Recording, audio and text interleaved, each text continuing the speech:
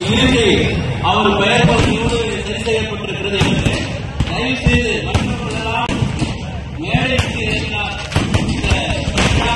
இது சிறப்பாக நடைபெறுவதற்கு பேர் உதவியாக இருக்கும். எனவே தயவு செய்து அனைத்து சகோதரர் தயவு